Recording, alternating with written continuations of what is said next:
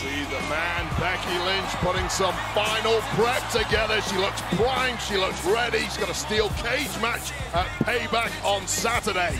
But before then, Becky Lynch will be looking to settle the score with the protege of Trish Stratus, Zoey Stark, in a Falls Count Anywhere match later on in tonight's main event.